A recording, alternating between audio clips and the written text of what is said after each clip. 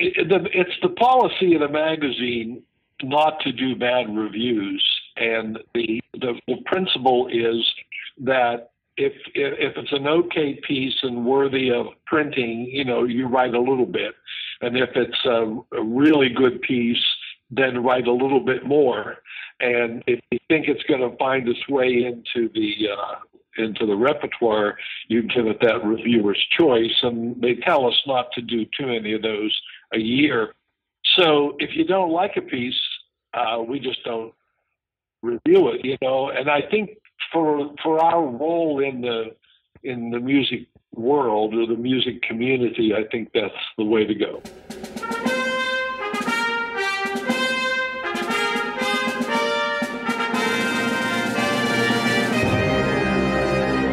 Hello, everyone. Welcome to Everything Band, a podcast that features conversations with composers, conductors, and performers of music for winds and percussion.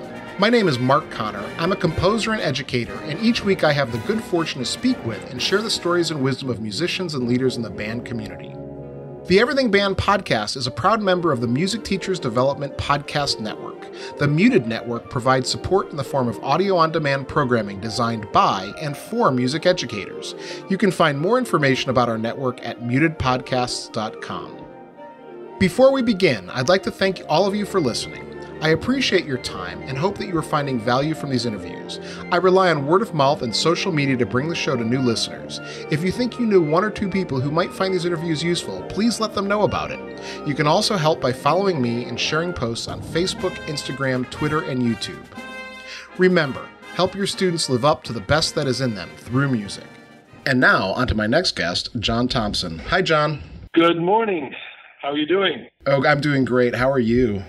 I'm fine. I'm sitting here in my dining room with my Labrador waiting for your phone call. Excellent. John, it's so nice to talk to you. I, I know you by reputation, and um, I've had the, the honor of having a piece interv- uh, reviewed by you in The Instrumentalist, and uh, I heard your interview with Don Stinson on the Bandmasters podcast, and I knew that I had to have you on the show. Oh, well, thank you. I enjoyed doing that podcast. That was the first experience of that kind that I'd ever had. Mm-hmm. And, uh, uh, it was interesting, and I've been looking forward to talking with you as well. Excellent, excellent. So, John, can you um, quickly introduce yourself for my listeners so they know who you are, for maybe those who don't know your name? Sure. Well, uh, I was the band director uh, at New Trier High School in Winnetka, Illinois for 25 years. And I think a lot of people know me through that. Um, before I taught at New Trier, I taught for 13 years at East Allegheny High School, which is in suburban Pittsburgh, Pennsylvania. And uh, uh, those are the two significant high school positions that I held during my career. And so, on the teaching side of things, I think that's how most people know me. Um, I have also had a long time association with the Instrumentalist magazine. And uh, intro to that with this story, I was a doctoral student at Northwestern University, and I was a teaching assistant for John Paynter, who was then the director of bands. And John called me into his office one day, and in, in his sort of semi sarcastic voice, he said, you're a doctoral student. You can probably write, can't you? Ha ha. And he said he wanted me to join the uh, the staff at the Instrumentalist. And at that time, Tom, uh, John was one of the reviewers. In fact, he was the head reviewer. So that was more than 35 years ago. And so I've been doing new music reviews for them for those many years. And as a contributing editor, I also do interviews and write articles for them. So I still do this, even though I'm in my 50th year in the profession. Uh, I still do do music reviews and and uh, and articles. You've had quite a storied career. So now you, um, prior to New Trier, you were in in Pennsylvania. Is that correct? Yes, uh, I grew up in Western Pennsylvania and went to North Hills High School uh, North Hills was one of those iconic Pennsylvania high schools. They performed at the Midwest six or seven times with Warren Mercer, who was a one of my mentors, but also uh, a fabulous bandman. And uh, one of my teachers taught at Carnegie Mellon University in the city, so it was a logical transition to graduate from high school and go to Carnegie Mellon. And uh, Dr. Richard Strange was the director of bands there. Most people know Dick through uh, Arizona State because he went out there and had a fabulous career and past president of the American Bandmasters Association. You know, a storied bandsman in his own right. Um, but he was my college band director. And uh, so then uh, this is another story. You know, we all have our stories, but he called me into his office one time and he said, I have an appoint- appointment for you at four o'clock. Go home, shave, take a shower, and be there by four o'clock. Well, the interview was with the supervisor of music at East Allegheny High School, and I was subsequently hired and did 13 years there, um, including, by the way, a performance at the Midwest. Uh, most people know me through my Midwest performances with New Trier, but uh, many forget that in 76, I had my Pennsylvania band at uh, the Midwest Clinic here in Chicago, and uh, that still is one of my great memories, uh, career memories.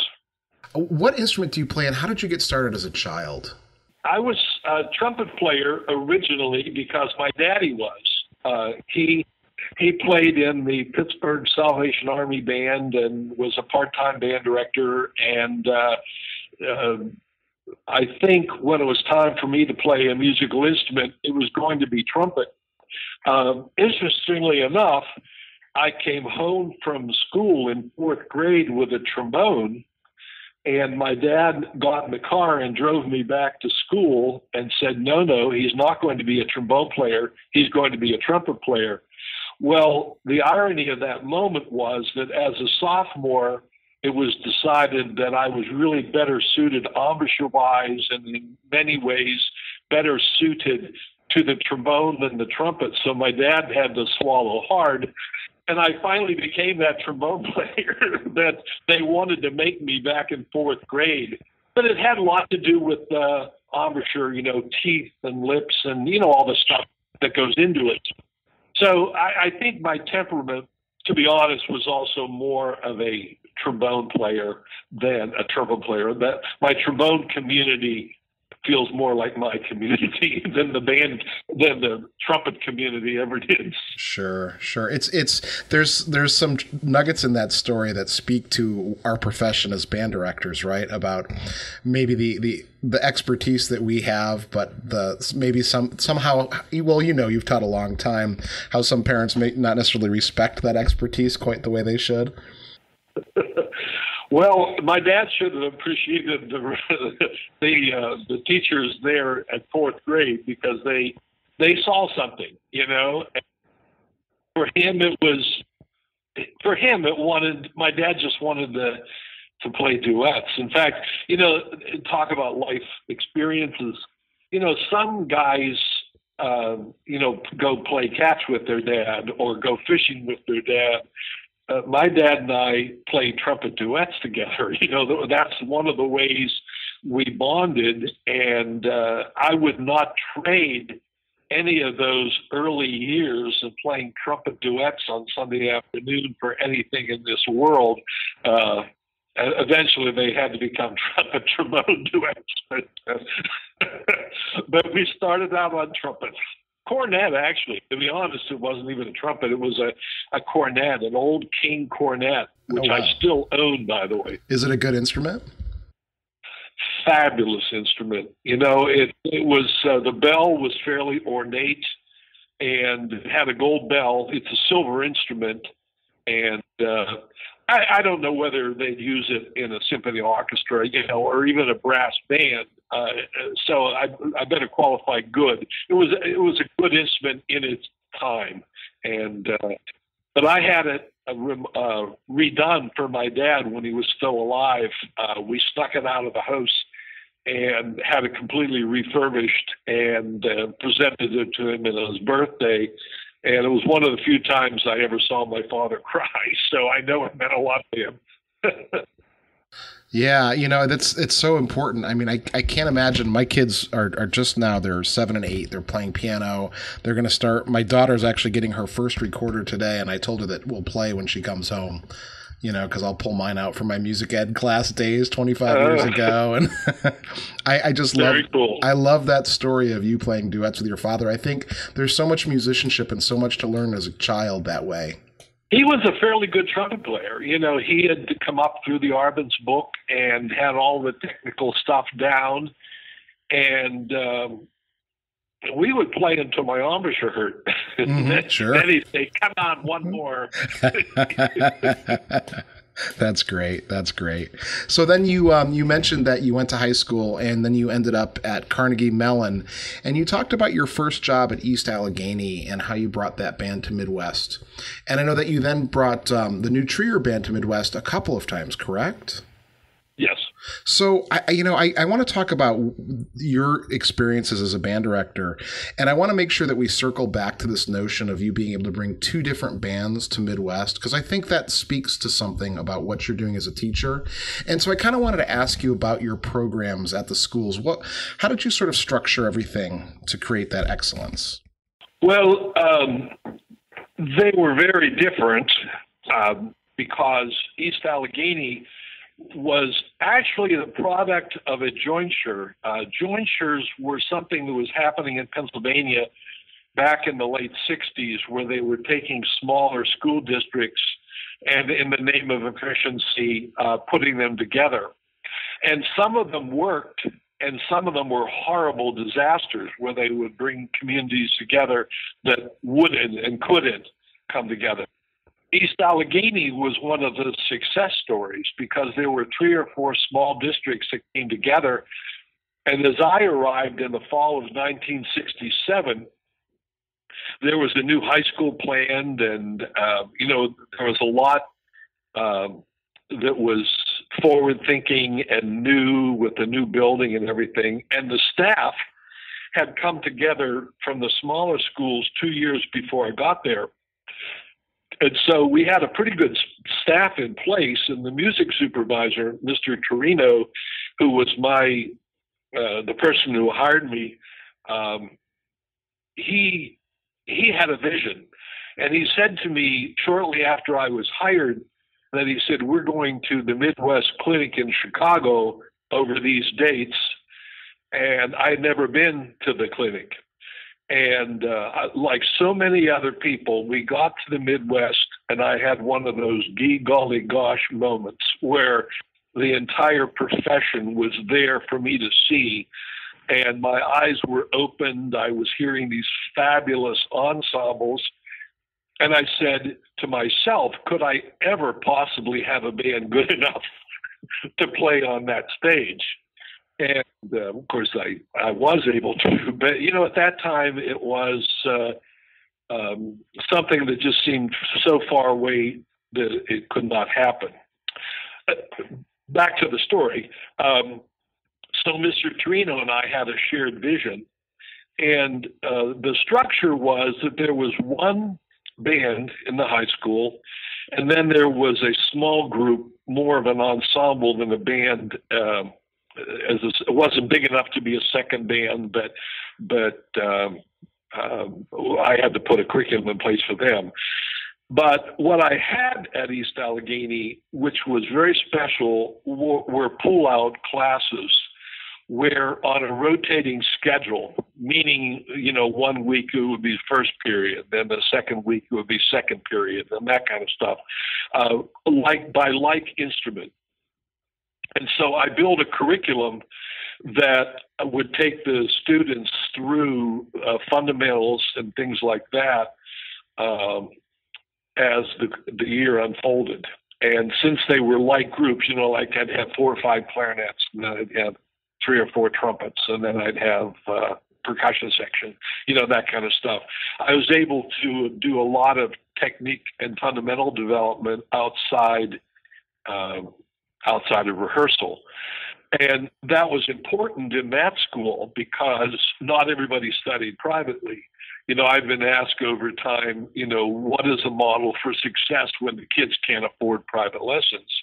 Well, I had that pull up session, which was able to um, to to make up a lot.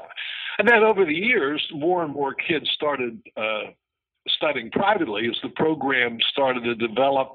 The kids' awareness started to develop, and uh, I was able to use a lot of Carnegie Mellon University um, people, um, students, sometimes grad students, would come out and do the lessons at school and things like that. And I had Thursday night rehearsals. Uh, we had a two hour rehearsal every Thursday night. Um, in marching season, it was, of course, marching band, and then after that, it became, you know, concert band. Uh, in terms of performances, we did four performances a year uh, that were main performances. One was Winter Festival, so it was a shared experience with the other ensembles, but the others were all mine. And I started a, an invitational program, which I brought to New Trier later. I'll talk about that when I talk about New Trier. Uh, that's just basically inviting guests to come in and things like that. Uh, so I don't, I don't, would you like me to go more deeply into that than I have? The main thing I'm trying to get to is is what you know how we, your philosophy is about teaching, and this is sort of telling me a lot about who you are as a band, who you were as a band director, and are. Well, uh, I'll tell you one thing. Uh, in terms of this, more or less comes under the category of advice, I suppose. Uh, uh, and since I do, I observe student teachers for a number of universities. I guess I'm in the business of giving advice with young young teachers anymore. But you know, one thing is to uh, play quality repertoire. Uh, I have concerns about our business because people seem to want to play what's new all the time. And while I recognize the importance of of uh, commissioning and, and writing new music, I, I would want us not to forget the the repertoire that has stood the test of time and and I tell all of my young charges that that you know play quality repertoire and do a mix and match. You know, you bring in new pieces so that your own repertoire is always growing, but return to those pieces. Uh, that are important from time to time. In fact, Mr. Paynter, uh, John Paynter, gave me important advice in that score. Uh, I asked him one time, in our doctoral seminar, I said, you know, I'm starting to repeat repertoire is that a concern? And he looked at me and said, it is not. He said, it's, it's showing your own maturity. You know, when you come back to Lincolnshire Posy the third and fourth and fifth time, you're bringing more to the music than you did the first time, which means your students are getting more from the music than they would have without you, the experience that you bring. To me, and you know, I am I'm a little bit biased, but one of the strengths to me of the band community is the dynamism and is the new music and, and sort of the fresh ideas ideas that are constantly coming into it. But there's a there's definitely a balance, as you mentioned. And um, do you have any thoughts about how to balance that? When when is it too much of the new or too much of the old? Or do you have any thoughts on that?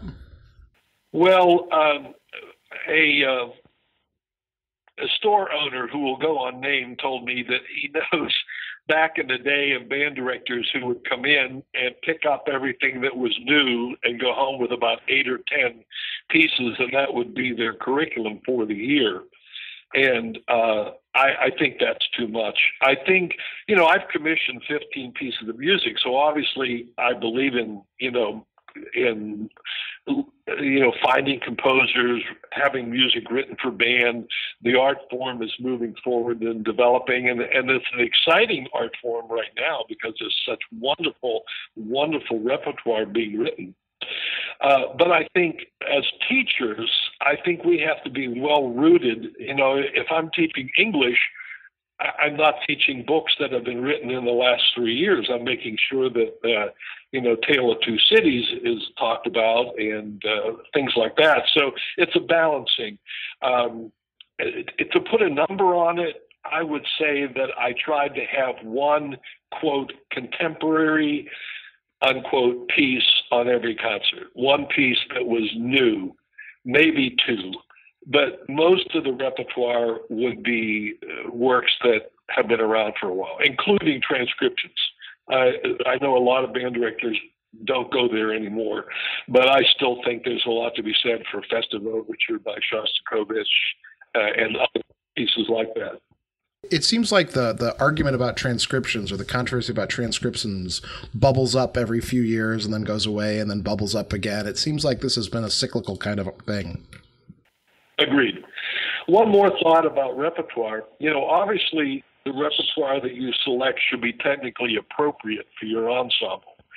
But I don't think if you're a grade four band, you have to play every piece at grade four level. You know, I I I would always have a couple of what I called stretchers on my program, pieces that would be at the technical frontier, but I also would include repertoire that wasn't at their technical frontier, but was music that we could digest rather quickly and arrive on stage with it still feeling fresh.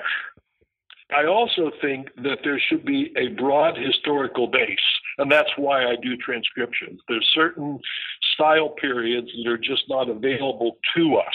And I love uh, much of the music that was written by Bach transcribed. What comes to mind is the Moehlmann transcriptions of all the prelude and fugues. Uh, there's so much wonderful teaching that can be done. And I also think we should do varied structures, forms, and textures. You know, every piece shouldn't be ABA. You know, why uh, uh, theme and variations? Why not, you know, prelude and fugue? And uh, and lastly, I think there should be unit study compositions. And what I mean by that are pieces that you choose for extended study. And I did a clinic not too long ago uh, where I used variations on the Korean folk song as by John Barnes Chance as my model. And I said, you can learn the second trombone part to variations on a Korean folk song, perform it, and feel good about it. But you can also learn about pentatonic scale. You can learn about theme and variation form. You can learn about melodic inversion. You can learn about retrograde inversion. You can learn about augmentation, diminution, and the list goes on.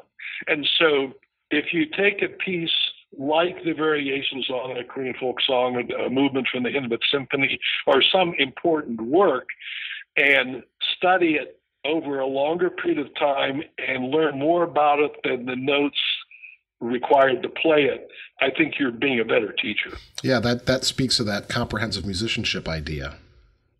Exactly, and I was uh, I cut my teeth on that because uh, you know Bennett Reimer, of course, was at Northwestern, and we had a deep immersion experience into that. In fact, I wrote a paper uh, in school in in the doctor program on it. So I've known about the the comprehensive musician approach, uh, the comprehensive musicianship approach for years, and I used it in my teaching. Let's talk about your time at New Trier, and I want to hear more about the chamber music and the sight reading.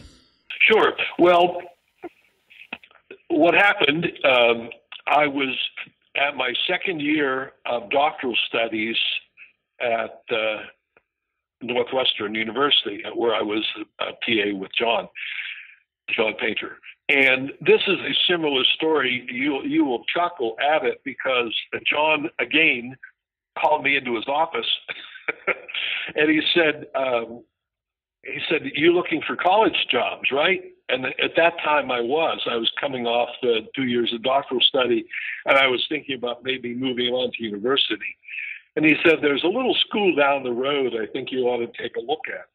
And uh, of course, that's New Trier High School, which, which is the next district north after where uh, Northwestern University. Northwestern's in Evanston. Many people would know that. Well, the next set of communities along the lake uh, are New Trier Township, and that's Winnetka, Wilmette, and all of those.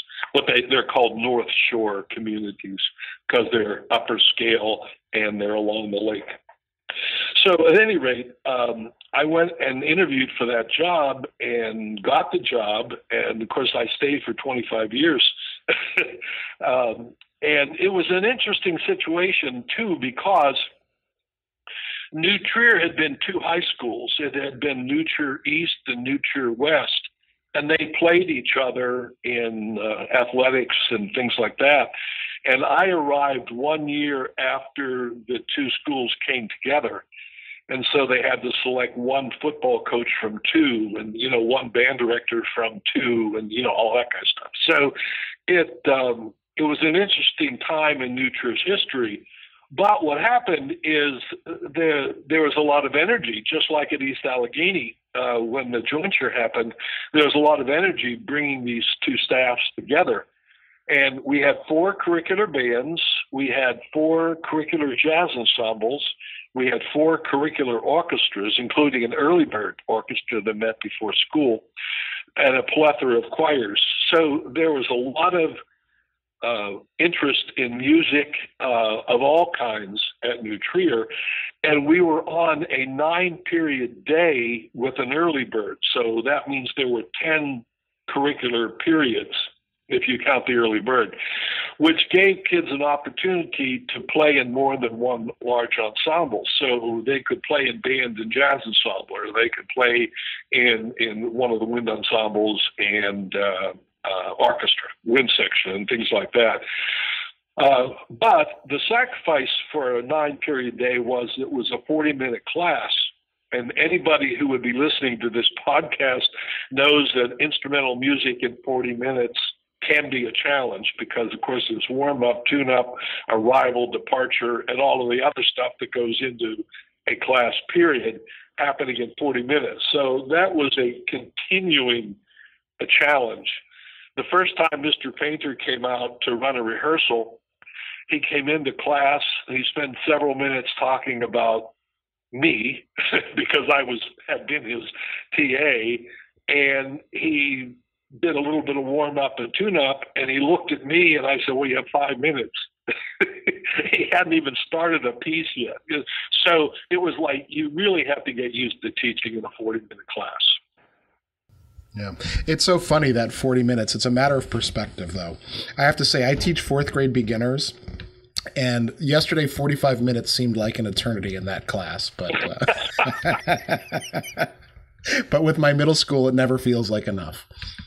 I hear that. You know, I, it's, uh, it's, uh, yeah, for fourth graders, forty-five minutes. They, it pushes their the limits of their uh, patience, I guess, as nine-year-olds. So now at, at New Trier, I did not have pull-out classes or anything like that, like I had at East Allegheny. So I had to get things done very differently. what I did have, though, is a fairly affluent community, and probably ninety-five percent of my students studied privately with good teachers. We had a staff of private teachers who would come into the school during the day to offer lessons when kids had free periods, and um, and so fundamentals were being addressed in those private lessons. And uh, uh, any teacher who says that you can, you don't stand on the shoulders of your private teachers is being less than honest. But back to the uh, sight reading component, um, I I felt that I had to have a constant array of music going through their eyes and minds, and so we would sight read often, and there was intent to it. I would start out the beginning of the year with grade one and grade two music. Now, this was a, my top band out of four. Now, I did it with the other bands too, but I'm, i am addressing the top one. And um, the kids at first would say, "Well, Mr. Thomson, these are whole notes and half notes. We could play these." And I said, "Yes, but can you play them in tune? Can you play them with good tone? Can you have a unified articulation? You know, you go down the list." And so then after a few weeks, we'd go to grade two and the grade three and so forth. And I want to tell you, by the end of the year, I could put something like uh, Symphonic Dance Number Three in front of them, and they could pretty much read it down and uh, maybe it wasn't always pretty, but but they learned that skill of uh, of um, keeping keep going. You know, like everybody who sight reads knows, sometimes you just have to don't lose your way. You know, and uh, and so by going through so much music, I think I was developing their literacy. And then the chamber music, what we did, uh, we could not do it curricularly, but we encouraged the students to form chamber ensembles that were often friendship based. Um, you know, if you were a brass player and you had other buddies who played uh, brass instruments, start a brass quintet, you know, that kind of thing. And so they would rehearse at home. In fact, I've had stories of uh, the parents would tell me, oh, yeah, Thursday night was uh, brass quintet night at our house. Everybody, you know, the kids came over and they practiced. And of course, I would coach them after school if they wanted me to coach them you know, by appointment. And then I, after a while, I had older players who could do some of the coaching, and they would coach the younger ones. And then, as a motivational tool, we had a solo and ensemble festival at our school every spring. And the students then could use that as something to look towards to participating in the solo and ensemble festival. I brought in local band directors to do the adjudication, and it really became something quite special. Then, two weeks later, uh, the North Shore Concert Band, with in association with Northwestern University, would have a solo and ensemble festival, and the kids were encouraged to go over there. Some of them did both. Some of them would pick and choose because the date was better for them or whatever. But they were all encouraged to do one of them. And if they did, then they got credit. And uh, you know for the activity, and uh, that was my way of encouraging musical independence, uh, and that goes all the way back to my own college experience. Some of my most satisfying musical experiences in college were playing in brass quintet you know, I had a group that we were together for three or four years. There was no conductor. We were reacting to each other.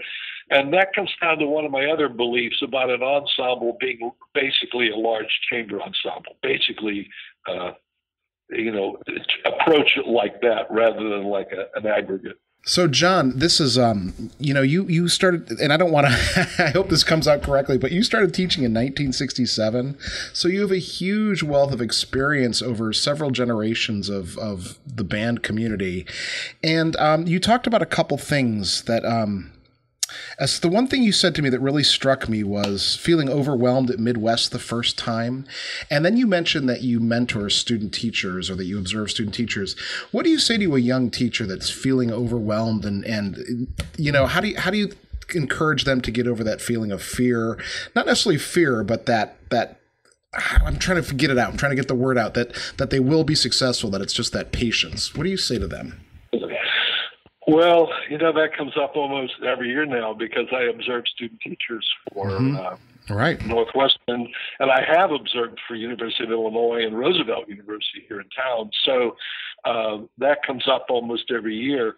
Um, you know, the veneer of a senior in college falls away rather quickly when you put them in front of a school classroom because all of a sudden they're dealing with uh, with class management issues and things like that that they did not have to deal with when they were in their uh, seminars in college.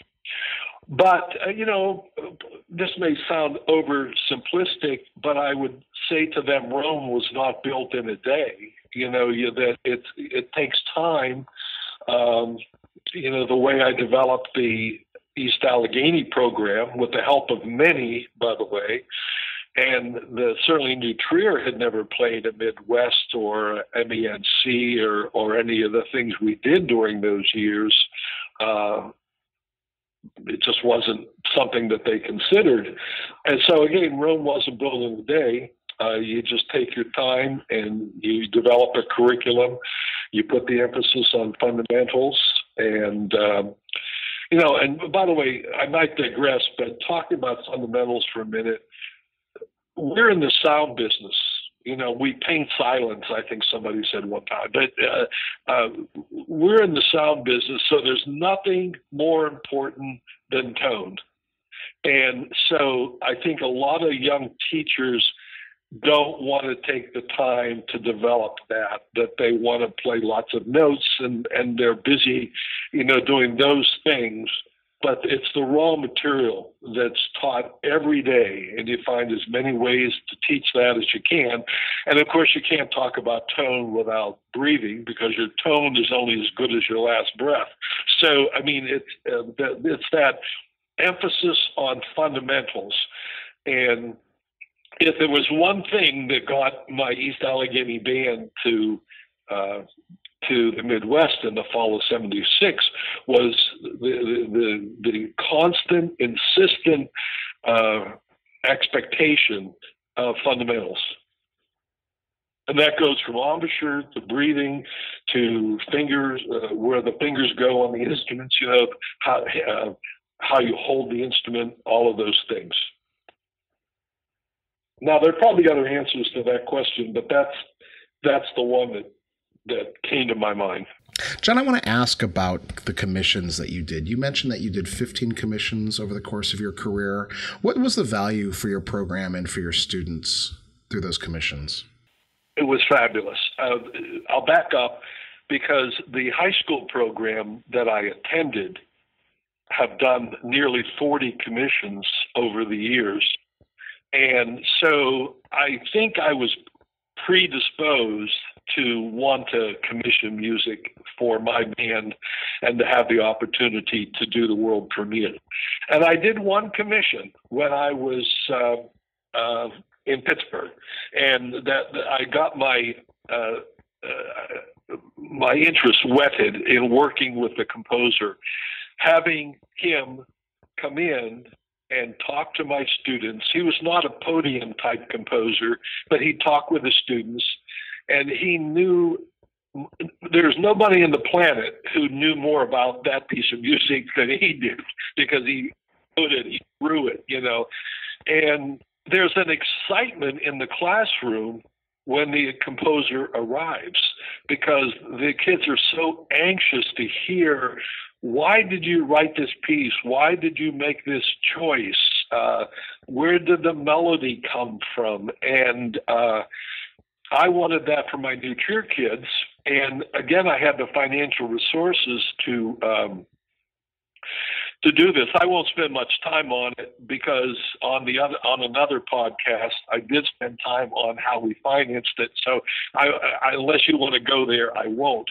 But um, I was able to get the funds to do 15 commissions, starting with the Robert Smith Commission Africa but I've had a number of composers. Now, I did not go for composers uh, like I would not have commissioned John Mackey. I would have not commissioned a composer who was already established and coveted by so many others. I was more interested in young composers, and for a couple of reasons. One, honestly, they were less expensive, but uh, also you have that young energy that comes into the room. Now, as I said a moment ago, some of them jump right on the podium and and would take a rehearsal and do beautifully. Others would choose not to. Others would say, "No, no, let me listen, and then I will, you know, talk to you about the piece and and that kind of stuff." I even had a couple of residencies where the school was able to bring somebody in and they went to our theory classes and they went to some of our other uh, music classes and talked to the kids. And and so I got a lot out of that composer over the day or two that they were in residence at at the uh, at the school. But mostly it was the, uh, the their passion and their knowledge of the score and their insights into the compositional process those were probably the the three main threads another thing that you mentioned was um, that you really encouraged private lessons, and, and you brought up funding for um, the commissions, and that was on the Bandmasters podcast that you talked about that for my listeners. Yeah, that yes. Okay, if they want to listen to that, that's by Don Stinson, his podcast. But how how do, how are you able to encourage private lessons and encourage the the raising of funds for commissions? What was the what was the secret sauce? Because I know that that funding is a big issue for a lot of directors. Well, um, my undergraduate institution um, needed pianos. And so they instituted a buy a key. Now there are 88 keys on a piano, So they broke the cost of a piano down by 88 and alumni and others were able to buy, you know, contribute whatever you can.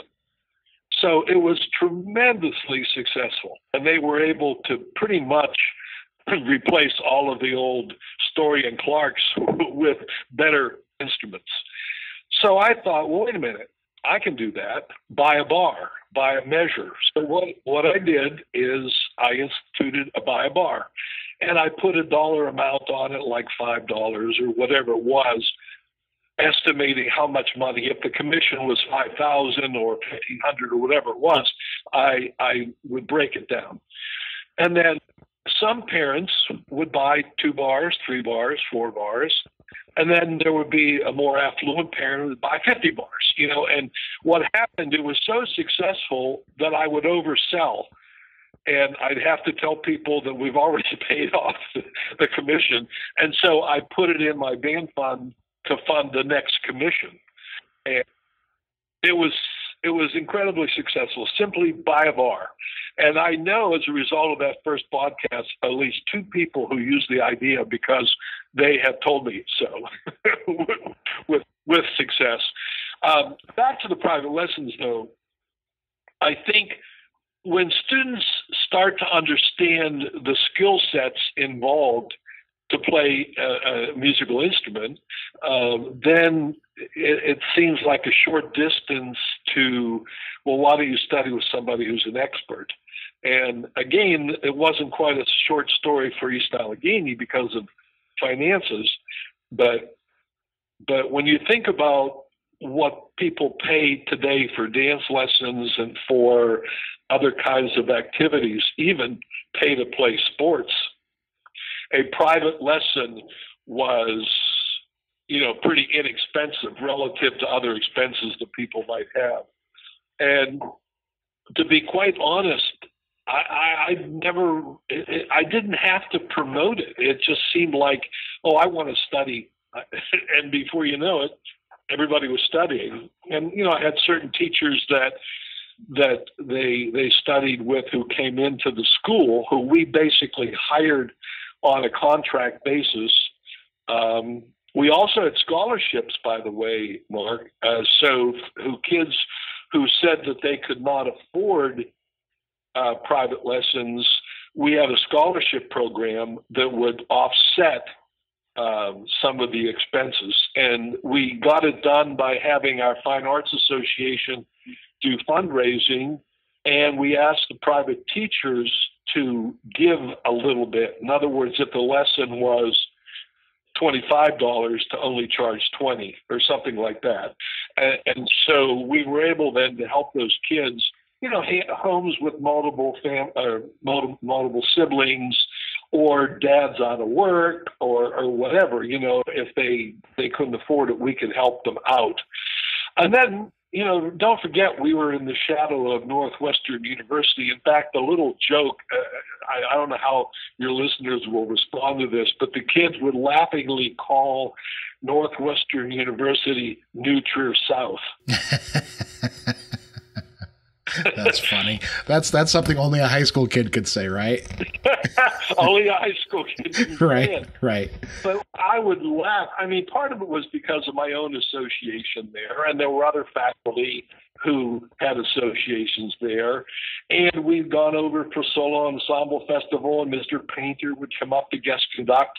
So there were lots of ways that we could use the resources you know, a lot of my kids would go to the Cherub program in the summer and study. Uh, and so then they would come home with their own associations and stuff like that. So I, I, I feel in some way I'm giving you an unsatisfying answer to that lesson or to that question, but but it, it just seemed the kids wanted to.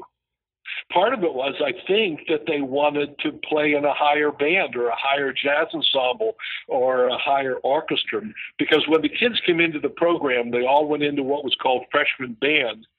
And then every spring, they would audition for the next level.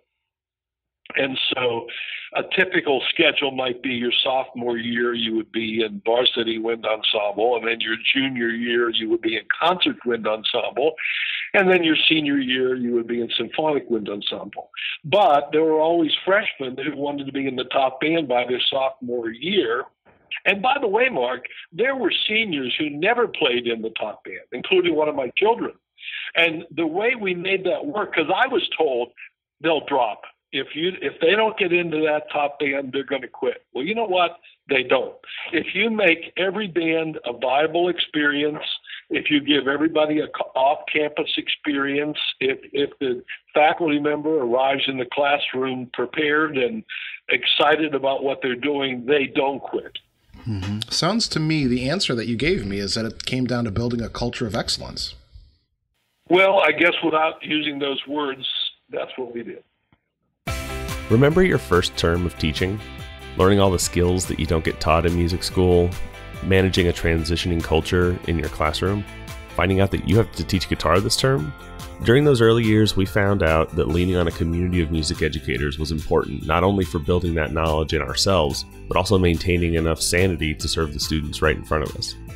Amused is a podcast centered around a community of music teachers. Between the four of us, we teach choir, band, orchestra, general, jazz, and marching band at the elementary through collegiate levels. We certainly don't have all the answers, but you're welcome to listen in while we try to find them. Join us while we work through the challenges of music teaching and celebrate the joy of bringing music making into the lives of young people. In each episode, you'll hear stories, both good and bad, about that week of teaching, and we'll try and tackle an issue that one of us is struggling with. Something we're all taught is that music brings people together, but being the only teacher in your subject at a site can be really isolating. We think everyone ought to be a part of a community, and you're welcome to come join ours. Episodes come out on Wednesdays during the school year, and you can find us wherever you get your podcasts and at amusedcast.org. And so, John, I asked the the group of questions um, that are as the final questions of every interview, and they address some of the big issues in the band community right now. And I am especially interested to hear your thoughts with so much experience. And I want to ask a follow up on one of them that's uh, that's going to come up. So we should probably get into these. The first of these questions is uh, Where do you draw the line between healthy and unhealthy competition in music? First of all, I, I sort of come from the intrinsic motivation family more than the extrinsic motivation, which probably starts my answer. But I think there's competition in music. The people who say there isn't, I think, are deluding themselves. Think about it. If you have chair placement in your band, there's competition. Who's first chair? You know, uh, if you have four bands, what band are you in? If you want to go to honor band or all state band, there's competition. So I, I accept the fact that there's competition in music education. Now, to address your question, I think it's healthy when motivated to be the best ensemble or the best you that you can be. In other words, if you're interested in improving yourself or improving your ensemble, I think it's healthy. I think it's unhealthy when it comes down to winning. And and I do have a story for that. I was judging. I do a lot of judging, as you might imagine, and this was some time ago in a state that I will not mention, not Illinois. But uh, we were received, the three judges arrived, and we, we were received rather nicely by the host school, who, by the way, was one of the very fine schools in this particular region. And uh, the band played beautifully, but another band played beautifully, and that band won the competition, so to speak. They they were given a higher score. Now it wasn't a competition about winners and losers, but it was about a score. You know, who would get the 97, who would get the 95, blah blah blah. So they were both Division One bands, but one had a higher number. The kids in that band felt like losers. It had nothing to do with the fact that they had played beautifully. They had played very beautifully. But they were losers because their score was two points lower than another band. And, and that's my example. I use this when I talk to college classes. Uh, that's my example about when uh, competition is unhealthy. Uh, if it's about winning, it, it can't be about that. It has to be about self improvement, competing with yourself, so to speak, or or wanting to be the very best band you can be, the very best you that you can be within the ensemble. Um, anyhow, that's my judging story, and that and that's where I draw the line between healthy and unhealthy. Yeah, it's it's a tough one. I think it's really also I believe it's very individual. Some people can do it well with their group, some people can't, and we have to know what we are good at as directors. Well, absolutely. And I have seen uh, wonderful, wonderful successes where bands sure. are out there competing. Um, we did not compete, believe it or not, at New Trier. There, during my 25 years there, and to this day, by the way, you would never see a New Trier band orchestra or jazz ensemble at a quote competition. Now we would go to places where you would get division ratings and stuff like that, but it was part of the the philosophy of the department that we would not compete in a winner loser environment. Just for that reason, we did not want to go down that road. So, John, this is a tricky question, but um, one that I think is really important that we talk about, and it's how do you achieve a work life balance as a music teacher, or can you? Well, it's not easy. Um, I, I, I knew that question was coming, and I did think about it. Uh, my best answer is it's not easy. Uh, you have to carve out time for self care. Um, and I think you have to learn to say no. You can't be everything to everybody. And I think a lot of uh, young teachers experience burnout because either they don't want to say no to anything um, but um, it's it's a tough road, and to be quite honest, I have my boys are 31 and 29 now. You know, they're they're grown men, but but I I had to make some very tough choices. Uh, um, I left them for a whole summer to travel around Europe with the Blue Lake Fine Arts International Band maybe I should have been at home. You know, my wife said, no, no, do it, you know, but, but it's tough. Uh, I used to do basketball pep band uh, at New Trier for many years. And when the boys were young, I would take them. We'd have a picnic on the floor of my office, and then they would come over to the stadium uh, with with me. And of course, my high school kids, particularly the, the, the girls in the band, would mother the boys. You know, they, would bring candy for them and they want them to set with them and they it was a way I could involve my my boys with what I was doing and they eventually all went to high school there so you know it was a logical segue but I I, I feel like I'm coming up short because it's very, very hard to find that balance. Um, but the best I can do is is you have to carve out time for self care. When I got near the end of my career, um, I was doing an adult community band, and I was coming home Wednesday nights after rehearsal, getting in around eleven, then getting up for first period class the next day and I realized that the, my one major concession to age was resilience. And I wasn't resilient Thursday morning, and I wasn't able to bring the energy that that I needed and wanted to uh, to for the program. Because by that time we had created a tiger by the tail, and you know what happens if you let go of the tiger, it comes back to get you, and if you slow down, it comes back to get you. So I, I had to bring that same energy, and and so I had to give it up, you know. And uh, so I, I guess that's an example of how I was able to to to make a tough choice, but not easy. I'm sorry. I hope I didn't let you down on that one. No, no. I think that's a perfect answer. My father was a high school athletic director when I was a kid. I spent many a night uh, playing in the bleachers of high school basketball games or behind the bleachers of the football game. You know. So I remember those days. there you go. uh, so, John, the next question is the big question of the interview, but it's intentionally left open ended to kind of give you a chance to add your thought. And that's uh, what what is a challenge or challenges facing music education band, and how can we best meet it or them? Mm. Well, um, I think relevance is has been and continues to be one of the important challenges facing music education, particularly in a time of testing. When there's a lot of testing going on and schools are reacting to the testing and teaching for the test, you know, where do the fine of performing arts find themselves in that world? And and I think the answer to that that I pose is that we have to be, as teachers, as educators, as administrators, we have to be proactive. We have to tell our administrators and our school board members and our parents what we're doing and why we're doing it. You know, call them on the phone and talk with them, or ask for an appointment in your superintendent's office. Uh, share your successes if if you go to Allstate and you have 11 kids in the Allstate band out of one school, let the administration know that that those successes.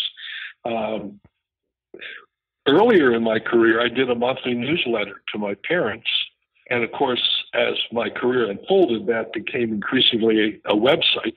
And so by the time I retired, it was more a website than a monthly newsletter. But you know, letting parents know what you're doing and uh, and why you're doing it.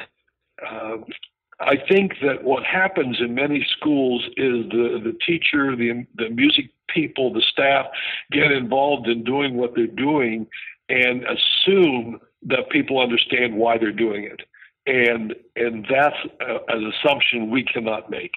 Um, a couple of stories. One is we had a, a music a supervisor, well, wait, superintendent, who I think did not understand exactly what we were doing until his daughter played in the band and all of a sudden he was one of our strongest supporters because he, he understood or be, he came to understand what we were trying to do and uh, the importance of what we were trying to do.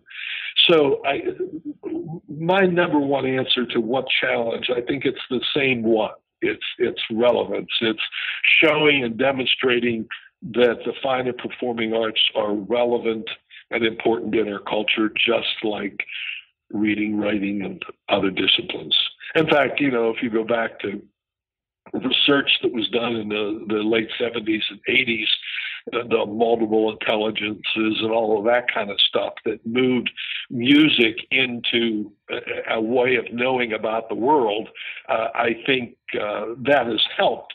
But we just can't assume that that our our administrators and our department chairmen know this stuff. If I could give you a time machine and take you back to your the your high school graduation, what advice would you offer to yourself? Uh, I, I, am not even sure how to answer. You know, I, I offer advice to my young students so often, uh, you know, about this idea of self-advice. I, I suppose I, I think one that's uh, an answer that's starting to emerge is is have a little bit more self confidence. I, I, think that, uh, to be quite honest, um, I, I, don't know that that I was particularly confident as a young person. Um, e- either as a teacher uh, or, to be honest, as a trombone player, because there were always better trombone players than me, you know. And um, I, I think that I probably should have been more confident in myself, and particularly after I started to have successes, because somehow I would tend to dismiss the successes. People would tell me, oh, the band sounds marvelous, or what a fabulous accomplishment that is. You must be so happy or proud or, or whatever. And I would tend to dismiss those successes. And it took a long, long, long time to start to say, well, you know, maybe I do have something to offer. I certainly work hard enough at it. Uh, I, and you know that's the best answer I've got. it's a good answer. It's an important answer. it's it's one that I still struggle with, and I'm in my 25th year of teaching. So there, there you go. There you go. Yeah. Hey, John, in your opinion, do you think the students have changed? You know, I, I, I get asked that question from time to time. Uh, it, it's a, there's a twofold answer to it. I mean, uh, I remember one of my mentors saying to me something like, you know, they put their their pants on one foot at a time then, and they put you know pants on one foot at a time now. But how can you say they are the same when the the stimulus is so different? You know, a culture in 2020 compared to the culture in 1967. You know, it, it just kids are different in terms of what they're exposed to, uh, the way information comes to them. Uh, so, in so many ways, they're different. But you know what? As I go around, band kids are band kids are band kids you know, I've done all state bands in four states now. I've conducted in Europe. I've conducted kids in Australia. Band kids are band kids are band kids in a way. There's something that they're just the same. You know, I, I stand in front of a band that I've never stood in front of, and yeah, that's a band. They're band kids. the same you know? characters emerge. exactly but but it, would be silly to say that kids are the same, uh, you know, in terms of what motivates them uh, in 2020 versus what motivated them in 1967. I think kids are the same. The world's changed around them. Yeah, yeah. I, guess you're saying it better than I do. No, I don't know. I, I don't know about that. I just was thinking about it as, I because you know, I was as I was preparing for this interview, I was looking at the picture, and I the picture of you when you're a brand new teacher in 1967, working with those kids, and and it just reminds me of the kids I work with now. You know, the same age group, and it's the you know, at some point they're kids. Yeah.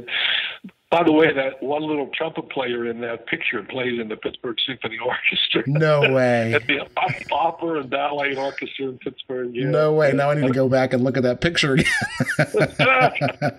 yeah. You know what we never got to, Mark, and I know we're out of time, but one one of the things I feel deeply about is developing and maintaining uh, mentor relationships you know, seeking out. In fact, this would go under the category of advice, but telling the, my students when they arrive at their new job, find out who the most successful person is in that region and meet them. you know, go have take them out for coffee, and but uh, developing and on my website sounds like you've been on my website. Mm-hmm, sure. But if you notice, there's actually on the right side a mentors column where I have photos of the five important mentors in my life and why they are important mentors. And um, in fact, anybody who might want to find my website, it's easy. It's johnathomson.com, all lowercase, Thomson without a P, johnathomson.com and uh, they they could look for themselves. But uh, you know why these people were important. They're all deceased. You know now none of them are. I can't call them anymore, but they were around for me when I needed them. So I'm sorry we didn't get to that, but maybe in a way we did. I'm going to leave it right where it is, and, and people will okay. hear it. People will hear it. You know why? Because people want to hear the, the answer to the next question. Everyone's always interested in this one, but I don't want your I don't want your favorite piece, John, because I don't think that's a good question. What I want is the piece that's most meaningful. And so, if you had a choice, what would be the final work for wind ensemble or band that you would want to conduct, or hear, or maybe even perform? you know, I thought about it because uh, I saw the question, and um, the answer is Lincolnshire Posy.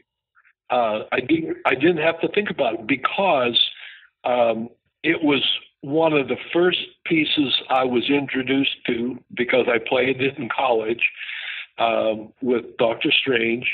Then one of the first workshops I went to was with Fred Fennell when he was doing uh, the the summer conventions, and we studied, uh, of course, the Holst suites and things like that, like everybody does. But we delved into Lincolnshire Posy. It's such a unique work. You know, there's nothing quite like it. Um, and then I learned. I did it a number of times in my career, and each time I did it, I felt I was bringing more to the table than than the last time. And so it's a favorite piece. It has significance to me because of some of the performances of it. In fact, believe it or not, my first Midwest in 76, I did three movements of it, the three easy movements. but I did it, you know, and so it has sentimental importance, you know, and there are lots of pieces that, you know, Peter Mennin Canzona comes to mind, you know, certainly the Holst suites the E flat especially, but the F2, you know, folk song suite. Because uh, when I was entering the profession, those were the masterworks that everybody studied. It was Vaughan Williams, it was Holst, it was Grainger, and there's always been a special place in my heart for Grainger. You know, all of his music, but but the seminal uh, the seminal piece in my mind is, is Lincolnshire Posy. Is there anything coming up that you'd like to share or promote? Well, um, not really, because you know I'm I'm somewhat in a retired state, semi-retired. Uh, you know, I continue to observe my student teachers and do things like that. Uh, I do a lot of um, of um, clinic uh, adjudication type experiences. In fact, you know, I'm doing the John Hershey one that's done here at Hershey High School. Uh, and then I've been invited to be a clinician adjudicator at Illinois State this year, and I'm excited about that. Oh, and then in March, I'm conducting the University of Alabama Wind Symphony uh, at the American Bandmasters Association uh, conference in Biloxi. It's in March. It's just a guest conduct, one piece kind of thing but they're a very fine ensemble, and the, the the conductor is a good friend, and so I'm excited to be part of that. So I suppose that's kind of what's going on right now. And then I'm working on two articles for the magazine. How can people get in touch with you? Well, I, I mentioned it a little bit ago about the, the website, uh, the johnaThomson.com, and that's Thomson without a P, and that I've been told I don't exist too many times in databases because people put the P in there, but it's uh, John A. Thomson, all lowercase, uh, no dots, just everything comes together, dot com. And that'll bring you right to my website. And my, I have a phone number in there, and, you know, but, what, and I, I, I don't know, do other people give you their email? Okay, well, I, am not uncomfortable doing it. It's thomson.john at comcast.net. Again, all lowercase. Thomson.john at comcast.net. John, thank you so very much for your time. Yeah, this was fun. I, I certainly enjoyed uh, talking, and I hope along the way there was something that made sense. So.